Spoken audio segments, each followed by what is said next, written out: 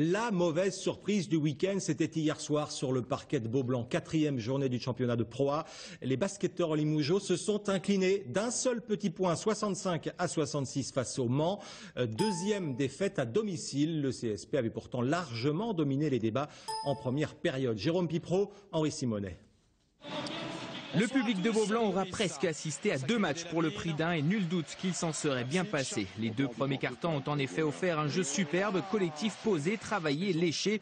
Mipoka, Walker, Samis proposent tour à tour un festival en début de rencontre, laissant peu de place à des manceaux inertes qui restent néanmoins collés au CSP grâce à leur tour de contrôle Batista.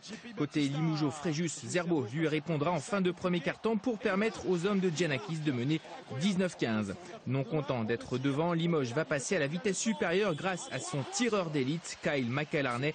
Son compteur, alors vierge, va passer à 9 points en quelques minutes grâce à trois paniers primés qui font chavirer Beaublanc. Ajoutez à cela une défense de fer, il n'en faut pas plus pour déstabiliser le Mans. Les coéquipiers de Kofi semblent complètement à côté de leur sujet. Le score défile et à la mi-temps, le CSP mène de 14 points, un avantage qui aura même atteint 16 points. Limoges est euphorique. Mais en basket, on le sait bien, rien n'est jamais acquis. Au retour des vestiaires, un deuxième match commence. Le Mans se met à vraiment défendre. Limoges est perturbé, plus rien ne marche. Les tirs sont ratés, les pertes de balles s'accumulent. L'arbitrage est, pour rester poli, indélicat. En face, les Sartois trouvent la mire.